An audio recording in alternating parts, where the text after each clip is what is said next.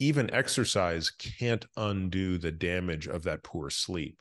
So um, it, I think it's hard to say, you know, what's the what's the first, second, third order uh, term here in, in in a specific case, but but in in general, I would say that very good sleep, very good nutrition, very good exercise are going to do more for people in most regards than say the mainstream approach which would be pharmacotherapy.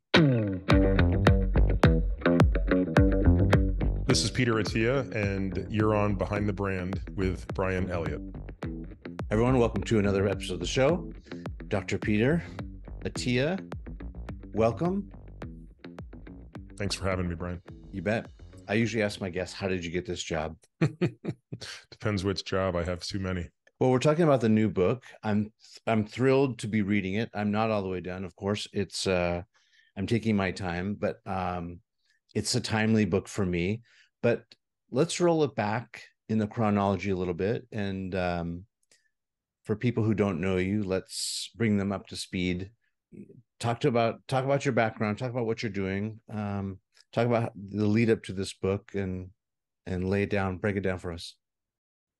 Uh, well, let's see. I, this is a book that um, I started working on about seven years ago, and uh, it's a book that I rewrote a couple of times in the in the way to to to finally publishing it.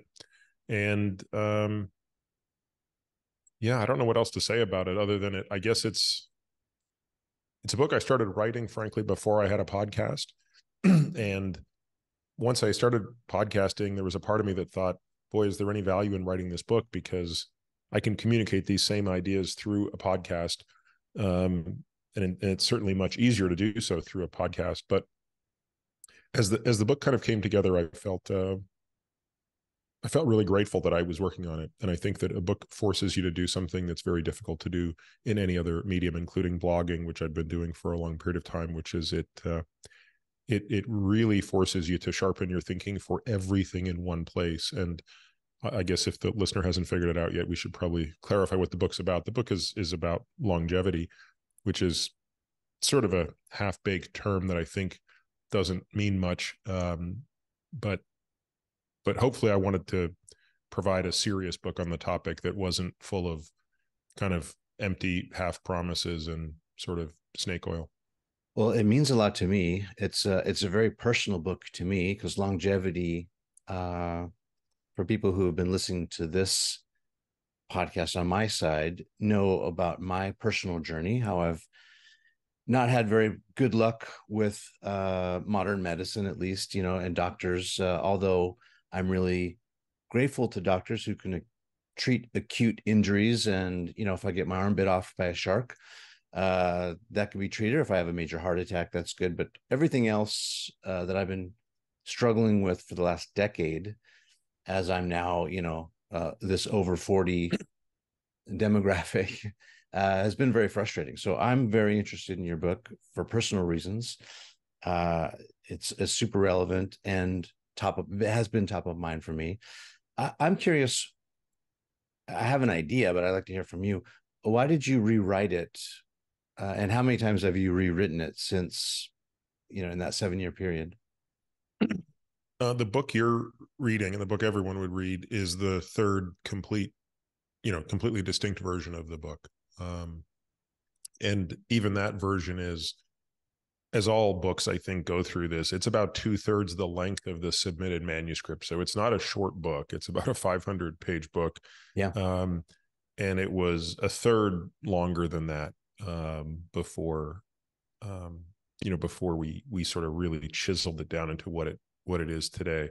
Um, but again, there were there were two versions prior, and um, you know I think the first version was was really very technical, very um, very much without a story or a narrative arc at all, and I think very, very rightly so, was uh, rejected by anyone who read it as a textbook. Um, I actually really liked it, but I, I, am but I'm, I'm really grateful to all the people that didn't, uh, didn't mince their words and feedback in saying it was absolutely horrible. Um, The second version um, was better, but um, you know, honestly, it just um, it didn't tie together. Uh, there, there, and and truthfully, there were elements of the second version that made it into the third version. There were no elements of the first version that did. Yeah, uh, I was just thinking maybe my mind was wandering a little bit about this idea of how quickly um, science changes or technology changes. So seven years is, is quite a long time, and a lot has happened in the last five to seven years that I can think about. And so I wondered if, if some of those things were updated or refined, or and if so, what were they? Yeah, it's interesting. You know, um, you know, there were there are a lot of things in science that have changed, um, but it's also amazing how many things haven't changed. And I'm not sure what amounted to greater edits because you could really put them into three categories. There are things where um, you know the science has changed itself. Uh, there are areas where um, the data are largely the same, but my interpretation of them has changed. And then there are areas where neither of those are correct. Mm-hmm. And um, I would say the most interesting of the three has been the middle bucket. It's been the the areas where when I started writing the book, I sort of felt one way about the information, about the data, and my own evolution has has has changed and ha- and has refined. Um, and I think that's actually pretty good news because I, I think you know if if every year you had to rewrite a book like this because of the pace of scientific development, um, I, I, it would be hard to keep up. But I, I think the good news is that's not actually happening, and I think the that there's a lot of noise out there, but but the true substance of it, which you know, again, it comes down to things like exercise and and understanding how to do it and what the benefits are and what the magnitude of it is. Um, that's that's not stuff that's getting turned over yeah, that is good news. Uh, and good. I hope that this interview will cut through the clutter. Maybe let's start by if you could help me define the difference between emotional health and mental health. Well, I think they could be one and the same. I, I, I mean, I, I, I, sort of use them a little bit differently, but I, think maybe some might say the real distinction is between mental illness and mental health. Um, but but again, if, if, we just put the the sort of um, um, the semantics exactly aside, what I'm really trying to distinguish is emotional health or mental health is something that concerns everyone, including you know people who might not have a diagnosis of a mental illness. So there's a there's a medicalized part of this that is codified in the diagnostic statistical manual uh, of psychiatric illnesses. Um, and someone listening to this might say, well, but you know, I don't you know there's nothing that about me that lines up in that manual so why should i care about this and what i would argue is no you you ought to care about your emotional health or maybe mental health depending on the word um, as much as you care about your physical health um, and it matters just as much to the quality of your life. Yeah. This became clear and it seems so intuitive intuitive but it wasn't to me for so long and this is one thing that really about a decade ago the light bulb really clicked and that is there's this interdependence or there's there's this correlation between physical health and emotional health you know uh what what was the what was the light bulb moment for you uh that they go together that um when i'm taking care of my my body, my physical health. Uh, I'm exercising, I'm doing strength training, uh, weights, whatnot. Um, I have, I seem to have a better positive mental outlook. I feel better. Um, I am more resilient to take on the stress of the day or the the difficult you know when you unexpectedly get punched in the mouth, metaphorically uh, or physically, you're ready for it. You're more resilient. You're more ready rather than before I was maybe not taking care of myself as much. And then the stress would come. or I something really bad would happen, and I I wouldn't deal with it as as well. And um, so I just recognized this relationship. And I also talked to a couple pro athletes. I think it was Russell Wilson, who I when I sat down with Russ, he said, you know, I have a physical trainer, you know, he helps me lift and shows me form. Why wouldn't you also have a mental fitness trainer? It makes sense to have someone helping you with with mental fitness or emotional fitness. And I was like, yeah, you're right. That's that's totally right. Not it's not just therapy. you know, like if you're if you're if sort of your uh your mental health side of things, but really the emotional health uh I just found goes hand in hand with the physical side. Um, uh, so then break down what metabolic health is. Metabolic health really speaks to, um, I think, at its simplest level, um, what our body does with fuel. So we um, we eat food, of course, for energy, and food is energy in in the form of chemical energy. It's chemical bonds. So everything you eat is uh, organic, and it therefore it's made up of a bunch of carbon, hydrogen, nitrogen, oxygen, sulfur, phosphorus. You know all of these things, and it's the bonds between those things that contain energy. Now our body has to figure out a way to take those bonds apart and get the electrical energy that's contained within those chemical bonds and make something called ATP out of it, which I'm sure people have heard of. So the whole process of metabolism is how do you take that chemical energy, turn it into electrical energy, and then back into chemical energy to be used again. That's that's what we are really really good at. All living organisms do this thing.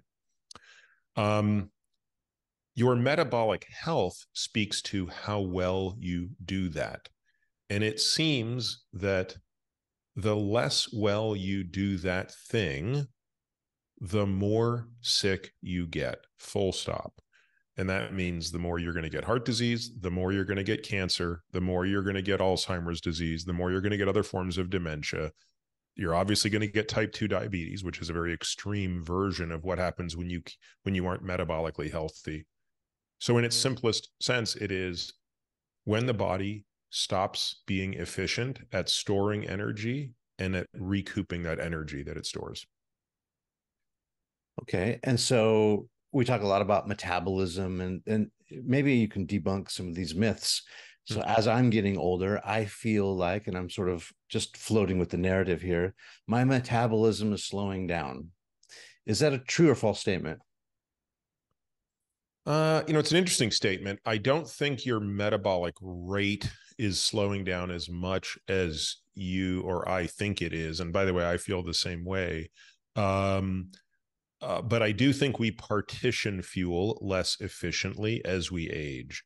So, as we age, we experience significant changes in hormones. So, for example, as testosterone levels go down, uh, as estrogen levels go down, we are more likely to store excess energy in the form of fat.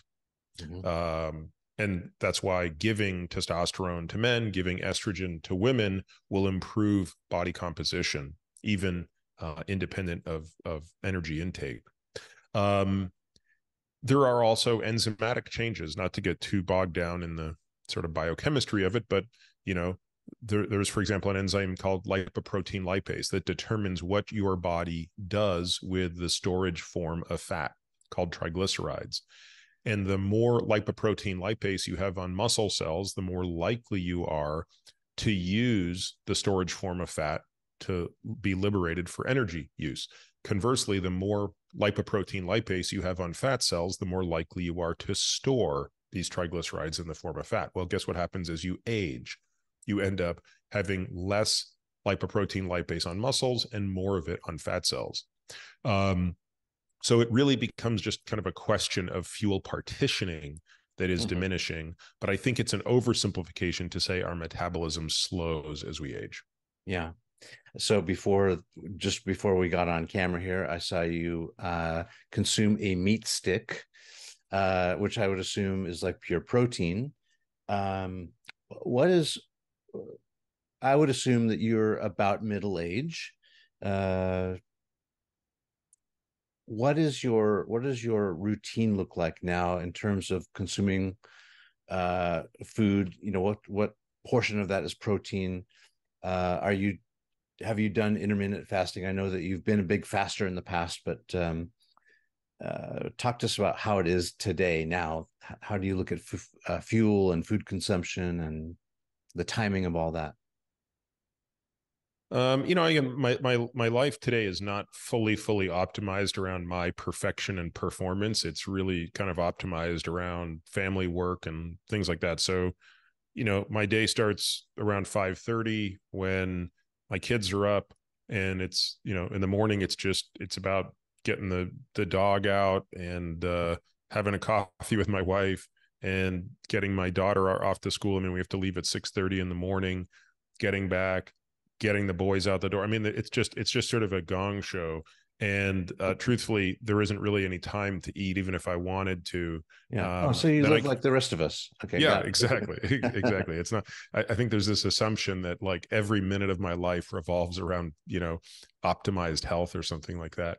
Yeah, um, I imagined you waking up with one of those like VO2 max max uh, mass, and you're already like on the treadmill and you're taking calls and answering emails. But that's that's not the case categorically not right okay. um so you know my first uh my the first thing i'm eating outside of uh, a coffee is is probably post morning workout when i'm gonna have typically like venison sticks um uh or you know maybe a protein shake or something like that and then and then i kind of need to have an opportunistic meal in the middle of the day uh, opportunistic meaning like it's sometimes it happens sometimes it doesn't. It just depends on how my calls are going and how they're scheduled. And yeah. if i'm really lucky my wife or my assistant will grab me a salad with a little uh, extra chicken or steak or something to throw on it for some protein. And uh and then my you know i, I usually have a pretty early dinner actually um again just because of kids and stuff like that. So usually i'm done eating by about 6 30 Mm-hmm. Um, and I I try to you know really not eat after dinner. I really like to have three good hours of not eating before bed. It really enhances sleep for me. Yeah. Um, and so that's that's that's kind of the way I'm doing it. But again, you can tell there's not a an abundance of planning that goes into it. The, the if I'm keeping track of anything throughout the day, I'm sort of keeping track of how much protein I'm getting. Yeah, I was going to um, ask, what are you counting macros and like how much protein are you consuming a day? Yeah, I'm I'm probably between about 140 and 180 grams per day of protein. Yeah, I mean that seems about right based on simple math. Uh, what's your weight? Uh, about 190. Okay, yeah, so that's that seems to be like what everyone's talking about is like the, the right amount of protein. Uh, how are you dealing with inflammation? I've found that as I'm aging, inflammation is becoming more of a problem and it's I'm identifying it through certain foods. So, for example, I've eliminated basically dairy from my diet. Um, I don't eat much bread, if any. Once in a while, I'll have some real sourdough, you know, that's just basically uh, little flour, water, and whatever else is in sourdough. But how are you dealing with inflammation?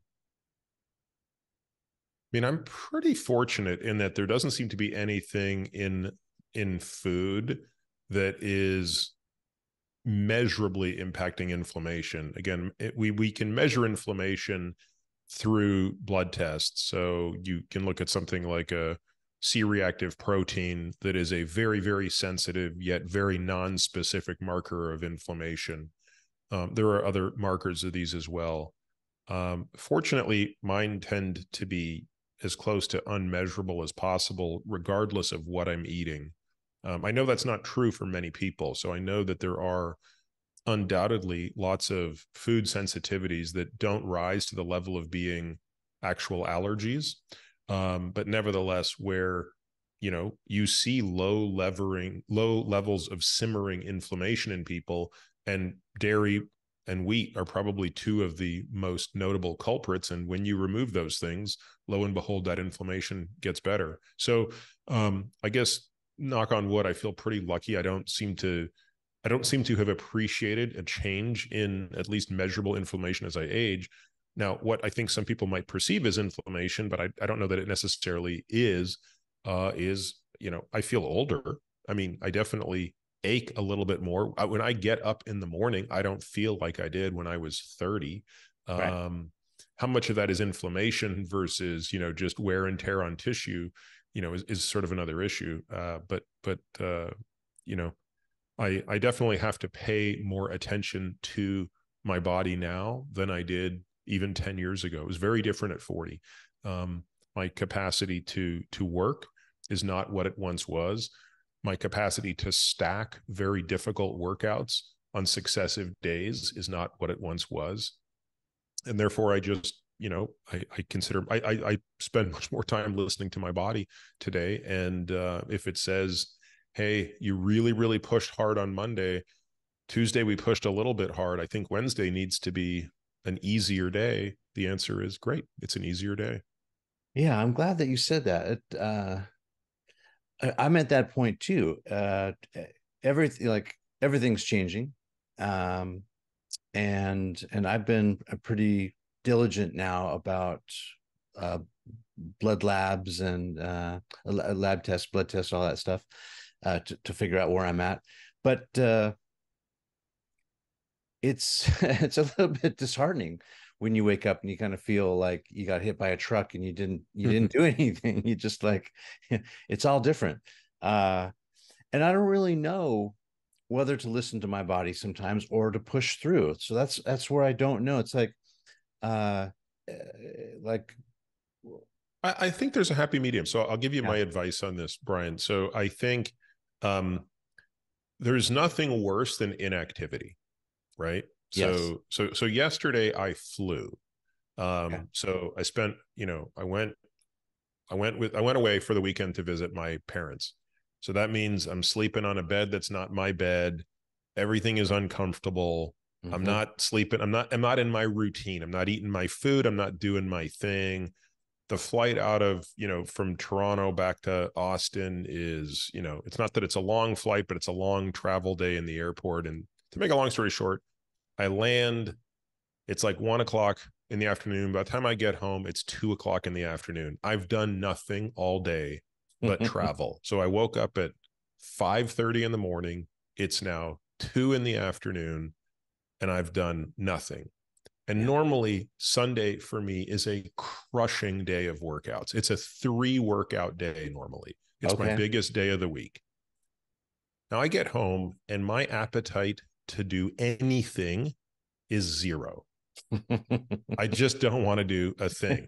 yeah, okay. Um, and um, you know, it's um, nice and nice to hear that you are human. Okay, so it's very relatable. Okay, this could be right. any any of our stories. Yeah, and um, and I decide that there's there's a happy medium somewhere between crushing the workout and doing nothing.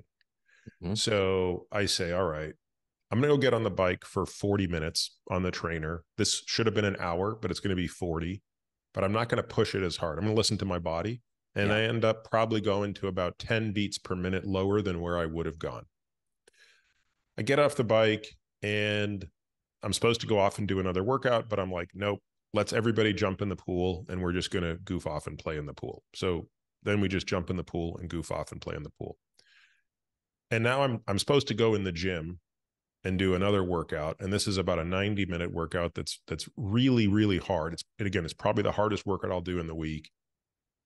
And I say, you know what? I'm not going to do it, but I am going to go in the gym for 35 minutes and just do a circuit that is not gonna clobber me but mm-hmm. it's something me and my wife will do together so me my wife and the, all the kids are in the gym doing a big circuit it ends up taking about 45 minutes and that was the day yeah so it's better than having done nothing and by the way my body felt better for having done that but i didn't set myself up for damage by forcing myself and that's you know that's something i would have done a few years ago. A few years ago, I would have forced that workout no matter what. And it would have come at the expense of time with my family. And it also would have come at the expense of, I think, my own long term health. So again, that's just one extreme example. But I would say on those days when you are so feeling beat up, go for a very long walk. Yeah. You know, inactivity is the worst thing that we can do, regardless of how we feel. Um, so, you know, a recovery walk is better than a recovery, you know, lay on the couch. Yeah. I love that message. Uh, I think it's very doable. Yeah. So it's, it is just listening to your, your body, your heart, you know, uh, and, and getting to know yourself. Uh, let's, let's dig more into mobility how important is mobility to longevity? Well, it's very important, but again, it's it's a, it's a very complicated topic. It's sort of like balance. Like, does balance matter? Well, of course, balance matters. And look at what happens when we age and our balance deteriorates. Um, the the question and what makes it difficult is understanding what the root drivers are you know what is at the root of mobility what is at the root of flexibility what is at the root of balance what what is at the root neurologically? What is at the root from a structural standpoint from a proprioceptive standpoint?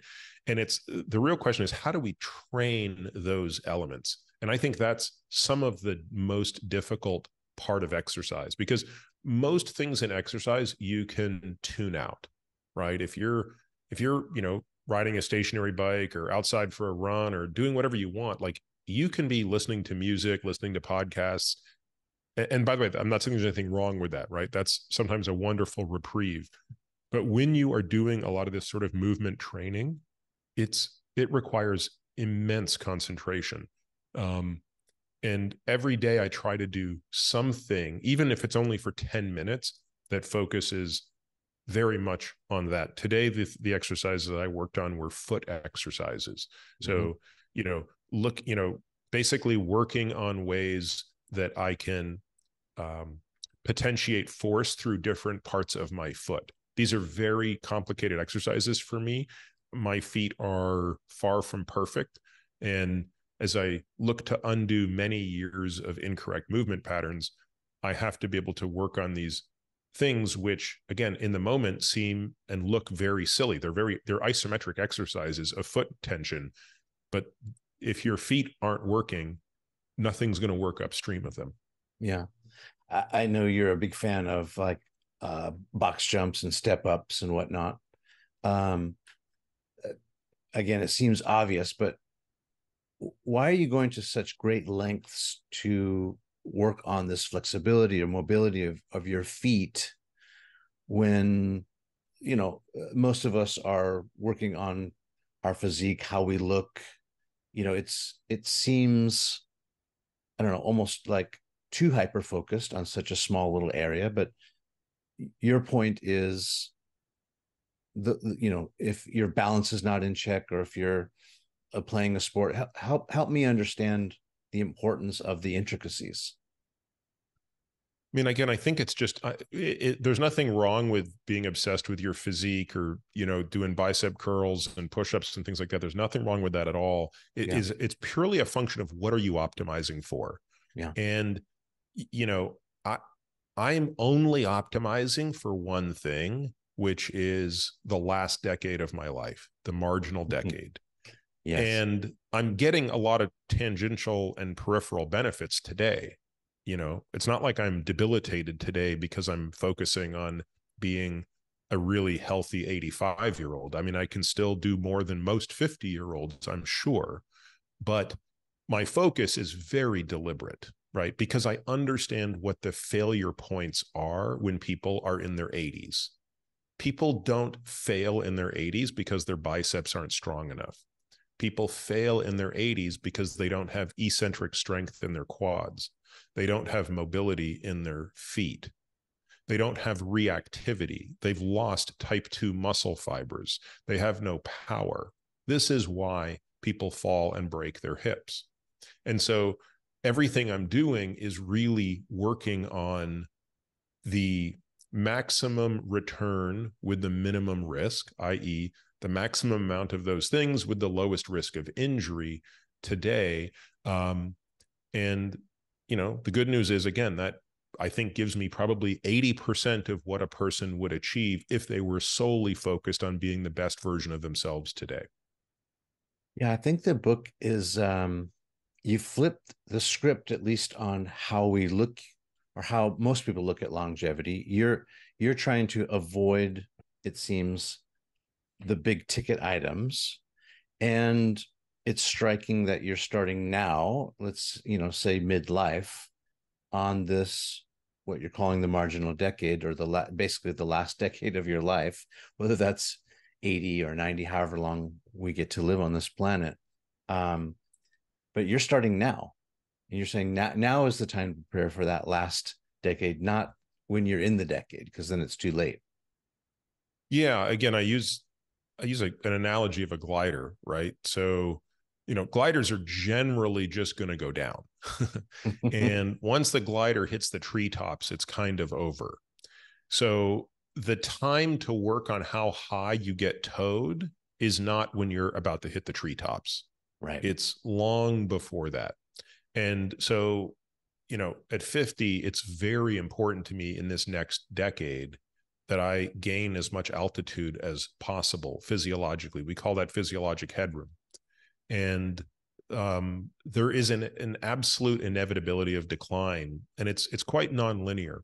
Um, so it's going to be you know, somewhat linear till about 75, and then it becomes again very non-linear. The decline goes very steep after 75. And, you know, I, I can't tell you how many times I've both watched this personally in people I know, but also the literature is completely unambiguous about this.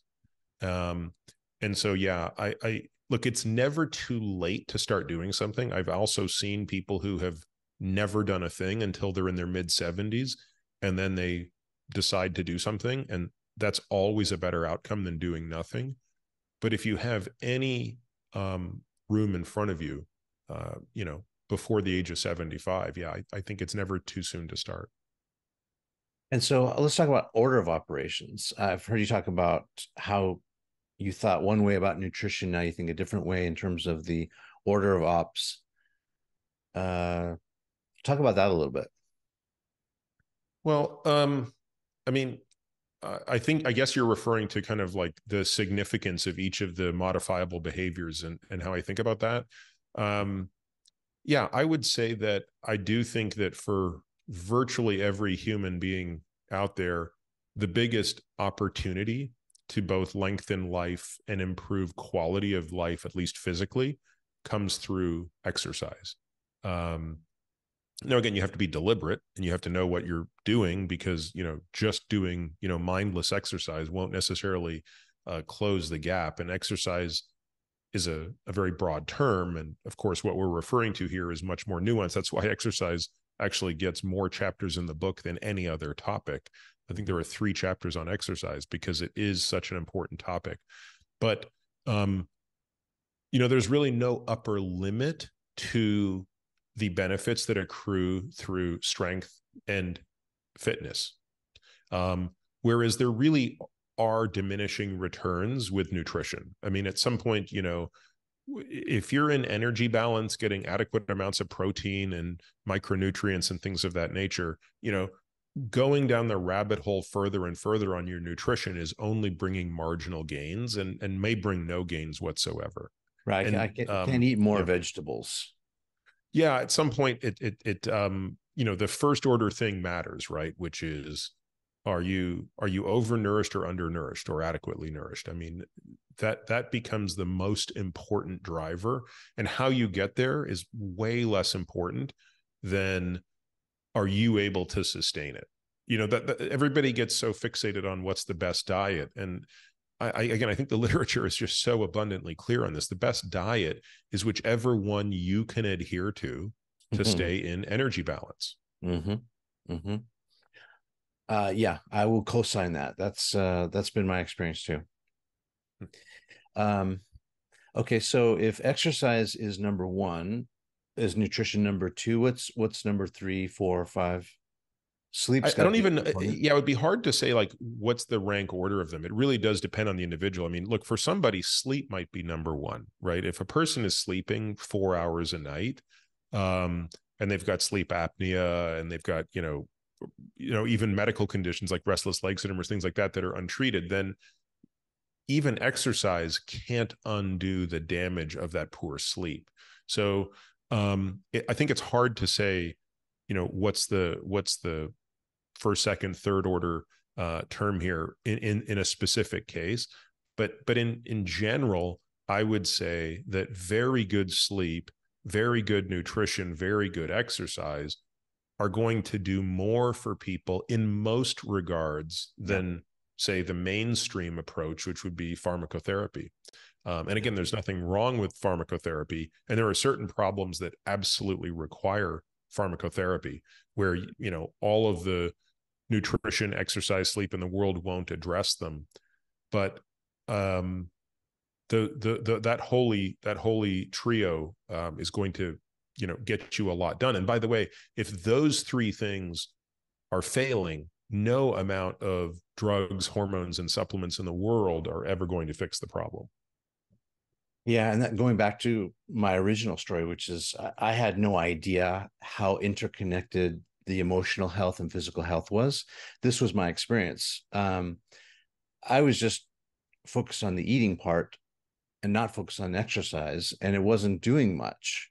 And it wasn't until I really got serious about the physical part, moving my body, focusing on strength, mobility, just exercise in general, um, in combination with nutrition. That's when I actually feel figured out that I had a sleep problem, and uh, I, you know, I'm I'm pretty fit, but it turns out as you age, uh, I was having some sleep apnea, mild sleep apnea issues, just because my my jaw was resting in a certain position, and my tongue was falling back in my mouth and causing me to wake up twenty to thirty times at night.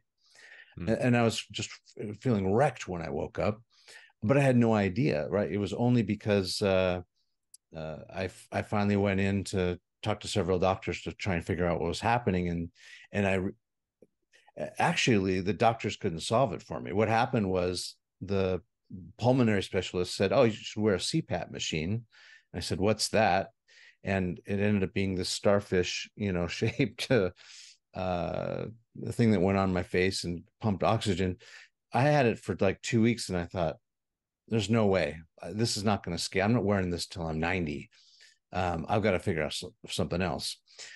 I just did a little research on my own and figured out that if I lost a little bit more weight, um, that that might do the trick. And sure enough, I so I dropped about 10 pounds.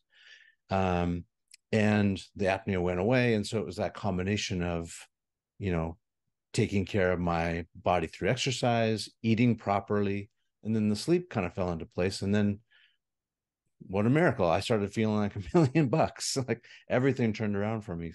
Um, and that's when I really started to sort of dial down then into the science of it, getting more serious about my my labs and understanding my hormone levels.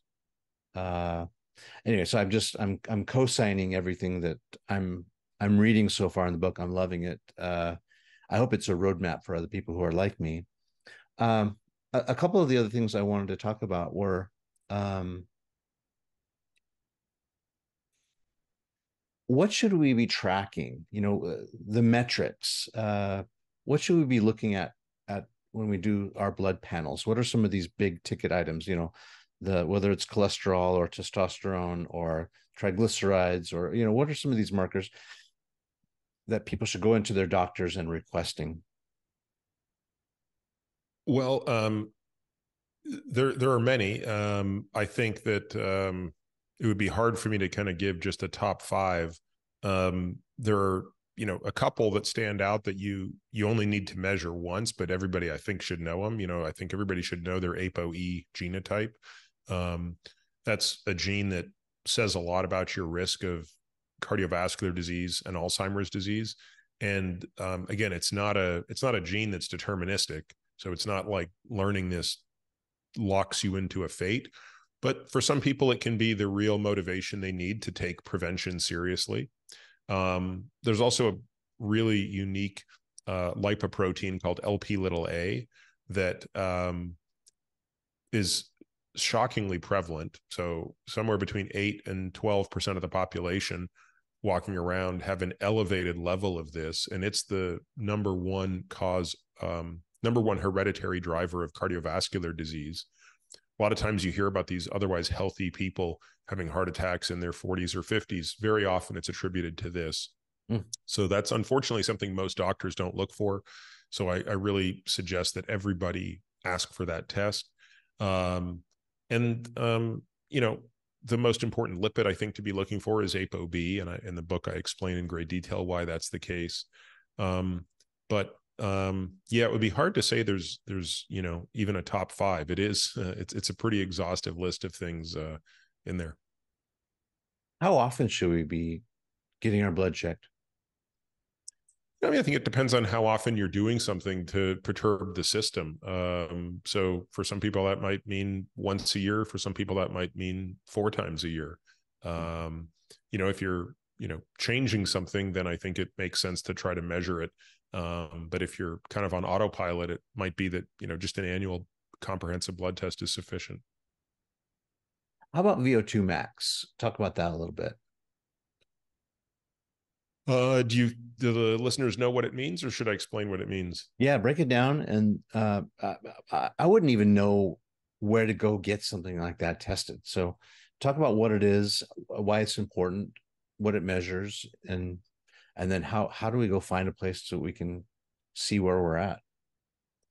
Well, uh, maybe even before I say all that, I should just point out why we're talking about it. There's no metric of a person's health. There's nothing you can measure about a person that is a stronger predictor of how long they will live than their VO2 max. So hopefully that provides some motivation for people to pay attention as we talk about this. So VO2 max um, is is the maximum ventilation rate of oxygen. That's the technical term for it. And that is measured under basically only two conditions either when you're on a stationary uh, bike or on a treadmill, and you have um, a very elaborate face mask, you know, strapped to your face that is measuring the amount of oxygen you consume as you are pushed to a maximal effort. So, this is a very difficult test. It takes about 20 minutes, and that includes kind of a warm up and ramp up until you are pushed to a maximal effort. And somewhere close to that very maximal effort, the sensor, the oxygen sensor in the device will be able to detect the maximum amount of oxygen you've consumed in liters per minute. That's normalized to your body weight. And ultimately, this is a number that's reported in milliliters per kilogram per minute. Um, where you can get this done is basically anywhere. You know, if you if if you live in a a, a reasonably sized city, you can search anywhere and get this done. Uh, here in Austin, uh, we send patients to uh, a, a, lab at the University of Texas, um, and you know it's about a hundred dollar test. So the biggest cost is the pain of the test, not not the dollars you're going to pay for it. Um, okay. And uh, that that number basically is the single best predictor um, of your cardiorespiratory fitness and then by extension how long you live so um, we really like to see our patients have that number be very high for their age and for their sex. This series is called behind the brand. We talk about brands. People are brands. Uh people are people are people but also you know we have a personal brand. What would you say is the dr peter attia brand? Well, that's a really good question. I don't know. Um, I'd be curious what others would say. It's um,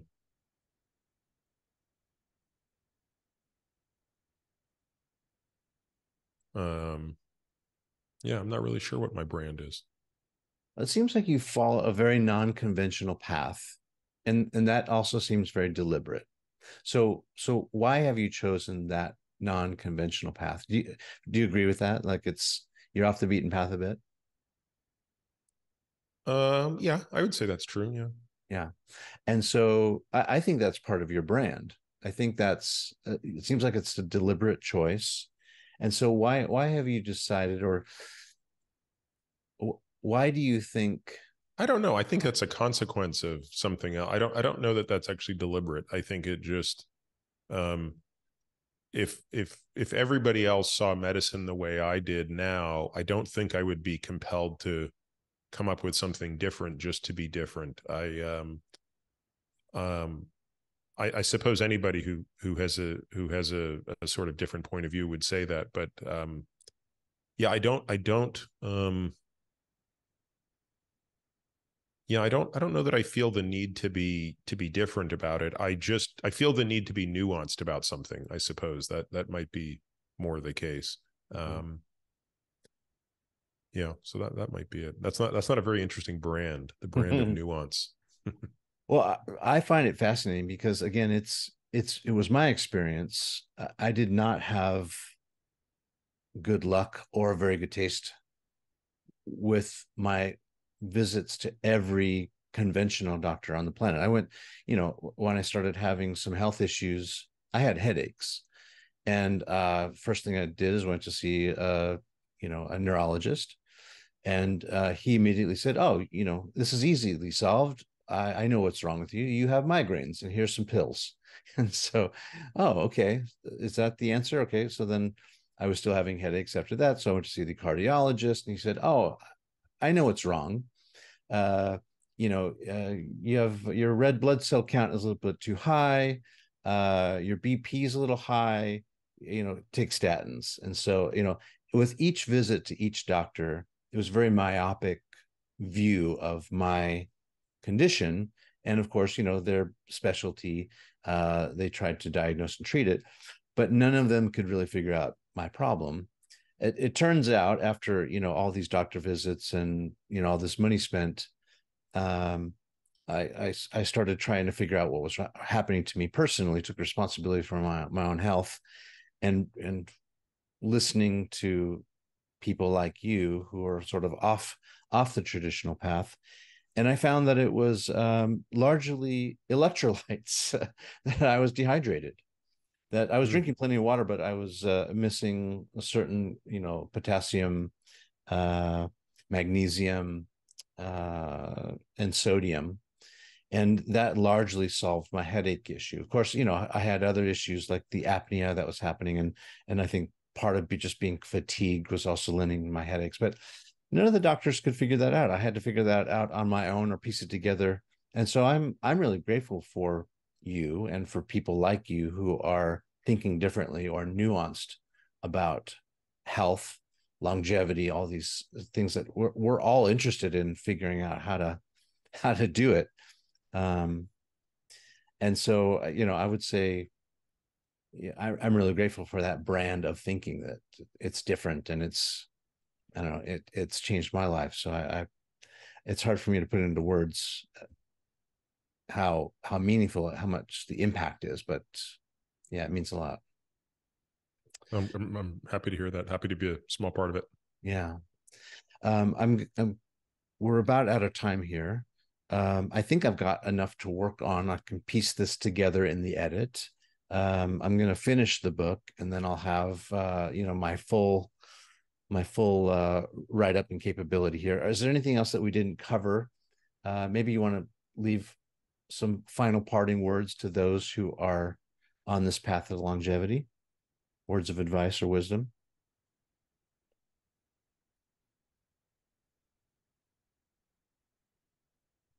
Yeah, I mean, I guess I would just say that um,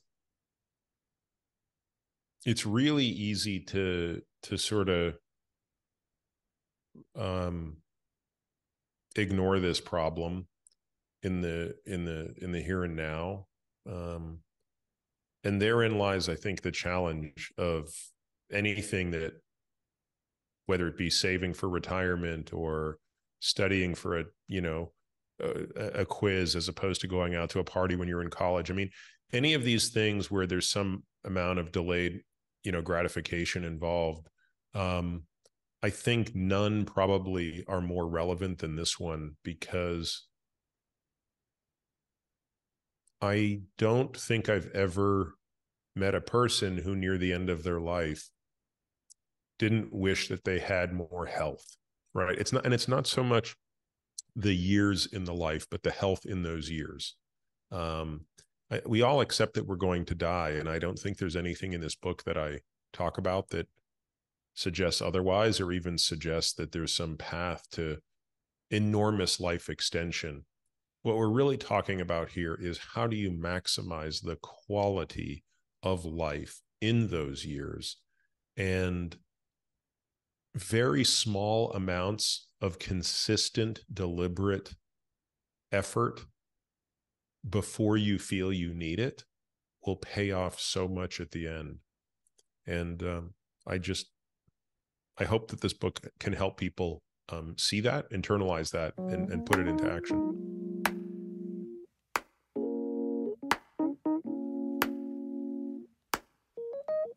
I mean, we were just sitting back, you know, chopping it up, reminiscing about the good old days and all that. you know, tracking my roots, where I came from and where I'm going.